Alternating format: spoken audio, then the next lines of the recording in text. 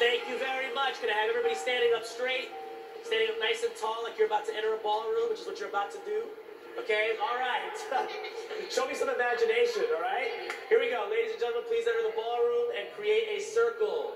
Enter the ballroom and create a circle.